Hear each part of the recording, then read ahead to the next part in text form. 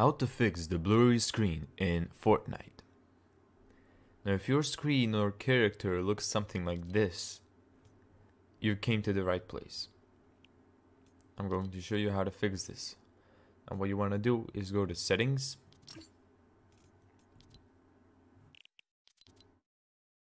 And scroll down a bit.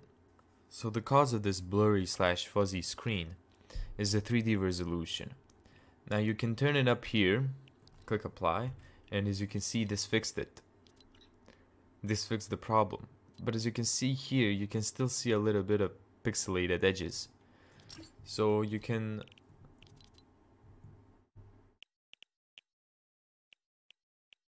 actually go here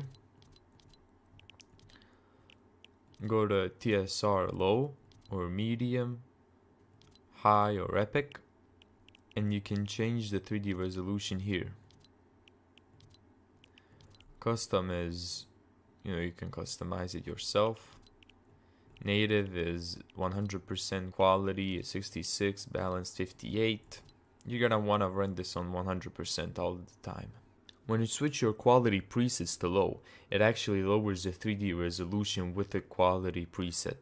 So So for example, if I do this, it's going to automatically lower the 3D resolution. But you can always turn it up again. And here you go. These edges are nice and smooth, and the character is not fuzzy or pixelized. And that's how to fix the fuzzy slash blurry screen in Fortnite.